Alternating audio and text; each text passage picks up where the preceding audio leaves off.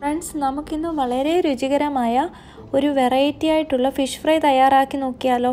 അതിനായിട്ട് ഞാനിവിടെ ഒരു കിലോ മീൻ എടുത്ത് നന്നായിട്ട് കഴുകി വൃത്തിയാക്കി വെച്ചിട്ടുണ്ട്. ഇതിലേക്കായിട്ടുള്ള മസാലയ്ക്ക് വേണ്ടിയിട്ട് കുറച്ച് ഇൻഗ്രീഡിയൻസ് നമുക്ക് വറുത്തെടുക്കണം. അതിനായിട്ട് ഒരു പാൻ അടുപ്പിൽ വെച്ചിട്ട് ഫ്ലെയിം ഓൺ ചെയ്യുക. ചൂടായതിനു ശേഷം ഒരു ഒന്നര ടീസ്പൂൺ വെളിച്ചെണ്ണ ഒഴിച്ചു കൊടുക്കുക. അതിലേക്ക് കഴുകിയെടുത്ത അഞ്ച് വറ്റൽമുളക് ഞാൻ ഇട്ട് കൊടുക്കുകയാണ്. ഒന്ന് വറുത്തെടുക്കാം. വറ്റൽമുളക് കഴുകിയതായതുകൊണ്ടാണ് ഈ ഓയിലിൽ ബബിൾസ് കാണുന്നത്. അത് കുറച്ച് വറുത്തതിന് ശേഷം നമുക്ക് ഇതിലേക്ക് കുഞ്ഞുള്ളി ഒരു പതിനഞ്ച് അല്ലി ഞാനിവിടെ ഇട്ട് കൊടുക്കുകയാണ്. ഇത് ഒരു ലോ ഫ്ലെയിമിൽ മാത്രം വറുത്തെടുത്താൽ മതിയാകും. ഈ ഉള്ളിയും വറ്റൽമുളകും കുറച്ച് നന്നായിട്ട് വഴറ്റിയെടുത്തതിന് ശേഷം നമുക്ക് ഇതിലേക്ക് ഒരു മീഡിയം വലിപ്പമുള്ള പഴുത്ത തക്കാളി ഇട്ട് കൊടുക്കാം. അതിലേക്ക് ഒരു അഞ്ച് അല്ലി ഗാർലിക്കും ചെറിയൊരു പീസ് ജിഞ്ചർ കഷ്ണങ്ങളായി അരിഞ്ഞിട്ടിട്ടുണ്ട്. ഞാനിപ്പോൾ ഇവിടെ തക്കാളിയുടെ തൊലിയും അതിന്റെ കുരുവും കളഞ്ഞിട്ടാണ് ഇത് കഷ്ണങ്ങളാക്കി എടുത്ത് വറുക്കാൻ എടുത്തിരിക്കുന്നത്. നിങ്ങൾക്ക് വേണമെങ്കിൽ അങ്ങനെ ചെയ്യാം. ലോ ഫ്ലെയിമിൽ വേണം ഇത് ഫ്രൈ ചെയ്തെടുക്കാനായിട്ട്. അല്ലെങ്കിൽ നമ്മൾ വറ്റൽമുളകൊക്കെ ആദ്യം ഇട്ട് കൊടുക്കുന്നതാണ്. അതിന്റെ ഒരു സൈഡ് കരിഞ്ഞു പോകാനുള്ള ചാൻസ് ഉണ്ട്. അല്ലെങ്കിൽ ഉള്ളിയും തക്കാളിയും ഒക്കെ ഒരു സൈഡ് മാത്രം ഫ്രൈ ആയിട്ട് മറു സൈഡ് ഒന്നും ആവാതെ കിടക്കും. അതുകൊണ്ട് നന്നായിട്ട് മിക്സ് ചെയ്ത് കൊടുത്തുകൊണ്ടിരിക്കണം ഫ്ലെയിം ലോ ആയിരിക്കണം. നന്നായിട്ട് ഫ്രൈ ചെയ്താണ്ട് ഇതുപോലെ ആകുന്നിടം വരെ നിങ്ങൾ ചെയ്യുക. അതിനുശേഷം തണുക്കാനായിട്ട് ഫ്ലെയിം ഓഫ് ചെയ്ത് മാറ്റി വെക്കുക. തണുത്തതിന് ശേഷം നമുക്ക് ഇതൊരു മിക്സിയുടെ ജാറിലേക്ക് മാറ്റി കൊടുക്കാം. ഞാനിവിടെ എടുത്തിരിക്കുന്നത് മിക്സിയുടെ പൊടിക്കുന്ന ചെറിയ ജാറാണ്. ഇതിലേക്ക് നമ്മൾ വെള്ളം ഒന്നും ഒഴിച്ചു കൊടുക്കേണ്ട കാര്യമില്ല. നമ്മൾ ഫ്രൈ ചെയ്യുമ്പോൾ ഉള്ള ഓയിൽ മതിയാവും. ഇതൊന്ന് നന്നായിട്ട് അരഞ്ഞു കിട്ടാൻ നല്ലൊരു പേസ്റ്റ് രൂപത്തിൽ ഇത് അരച്ചെടുക്കുക. ഇതാ ഇപ്പോൾ നമ്മുടെ മിക്സൊക്കെ നന്നായിട്ട് അരഞ്ഞു കിട്ടിയിട്ടുണ്ട്. ഇത് നമുക്ക് വേറൊരു പാത്രത്തിലേക്ക് മാറ്റാം.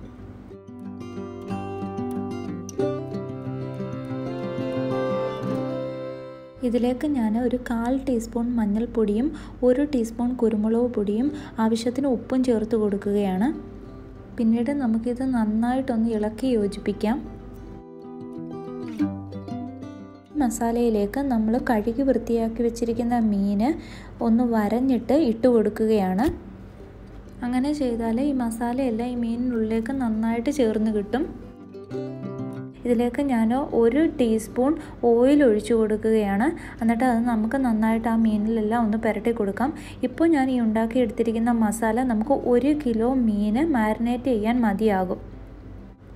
ഇവിടെയും ഞാൻ മസാല നനയ്ക്കാൻ വേണ്ടിയിട്ട് വെള്ളം ഒന്നും ചേർത്ത് കൊടുക്കുന്നില്ല. ഇങ്ങനെ മാരിനേറ്റ് ചെയ്ത് വെച്ച ഈ മീൻ നമുക്കിനി ഒരു അരമണിക്കൂറിൽ കൂടുതൽ ഫ്രിഡ്ജിൽ വെക്കാം. ഇനി നമുക്കൊരു പാൻ എടുക്കാം. ഫ്ലെയിം ഓൺ ചെയ്യുക.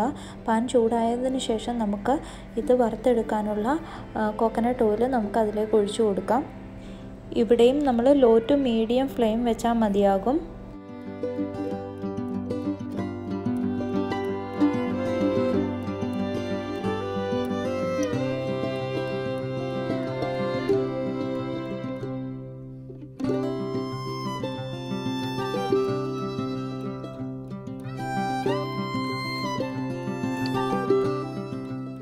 എണ്ണ ചൂടായി കഴിയുമ്പോൾ നമുക്ക് മാരിനേറ്റ് ചെയ്ത് വെച്ചിരിക്കുന്ന ഈ മീൻ കഷ്ണങ്ങൾ അതിലേക്ക് വെച്ച് കൊടുക്കാം. നിങ്ങളുടെ ഇഷ്ടത്തിന് ഏത് മീനിൽ വേണമെങ്കിലും ഇങ്ങനെ ഒരു മസാല തയ്യാറാക്കി നിങ്ങൾക്ക് മീൻ വറുത്തെടുക്കാവുന്നതാണ്. നമ്മൾ ഈ മിക്സ് തയ്യാറാക്കുന്ന സമയത്തോ ഇത് മാരിനേറ്റ് ചെയ്യുന്ന സമയത്തോ ഒന്നും തന്നെ ഇവിടെ വെള്ളം ഉപയോഗിച്ചിട്ടില്ല. എന്താ വെള്ളം ഉപയോഗിക്കാഞ്ഞെന്ന് വെച്ചാൽ നമുക്ക് ഉള്ളിയിൽ നിന്ന് കിട്ടുന്ന ഒരു നനവും നമ്മൾ ഈ ഇതെല്ലാം വയറ്റാനായിട്ട് ഉപയോഗിച്ച എണ്ണയും എല്ലാം നല്ലൊരു നനവ് തരുന്ന കാര്യങ്ങളാണ്. അതുകൊണ്ട് അഡീഷണലായിട്ട് നമ്മൾ വെള്ളം ഉപയോഗിച്ചിട്ടില്ല. ഇത് വറക്കുമ്പോൾ തന്നെ നമുക്ക് ഇതിന്റെ നല്ലൊരു മണം കിട്ടുന്നുണ്ട്. അതിൽ നിന്ന് തന്നെ അതിന്റെ രുചി നമുക്കറിയാം. നിങ്ങൾ തീർച്ചയായിട്ടും ഇതൊന്ന് ട്രൈ ചെയ്ത് നോക്കണം. മീനിന്റെ ഒരു പുറം തന്നെ ഒന്ന് കുക്ക് ആവാനായിട്ട് ഒരു മൂന്നര നാല് മിനിറ്റോളം വേണ്ടി വരും.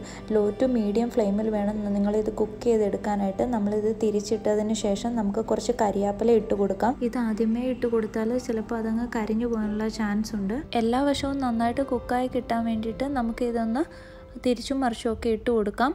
നന്നായി കുക്കായതിന് ശേഷം നമുക്ക് ഇതൊരു സെർവിങ് പ്ലേറ്റിലേക്ക് മാറ്റാം. ഇപ്പോൾ നമ്മുടെ ടേസ്റ്റി ആയിട്ടുള്ള ഫിഷ് ഫ്രൈ ഇവിടെ റെഡി ആയിട്ടുണ്ട്. ഇത് നല്ല സോഫ്റ്റുമാണ് അത്യാവശ്യം സ്പൈസിയുമാണ് വഴട്ടിയെടുത്ത ആ ചെറുള്ളിയുടെയും ആ ഇഞ്ചിയുടെയും ആ ഗാർലിക്കിന്റെയൊക്കെ ടേസ്റ്റ് മുന്നിൽ നിൽക്കുന്നു. വളരെ ടേസ്റ്റി ആയിട്ടുള്ള ഒരു ഫിഷ് ഫ്രൈ ആണിത്. നിങ്ങൾ തീർച്ചയായിട്ടും ഇത് വീട്ടിലൊന്ന് ട്രൈ ചെയ്ത് നോക്കണം. കൂടെ എന്റെ ചാനൽ സബ്സ്ക്രൈബ് ചെയ്യണം എന്റെ വീഡിയോസ് കാണണം എന്നെ സപ്പോർട്ട് ചെയ്യണം. ചെയ്യുമെന്ന് വിശ്വസിക്കുന്നു. Thank you thank you all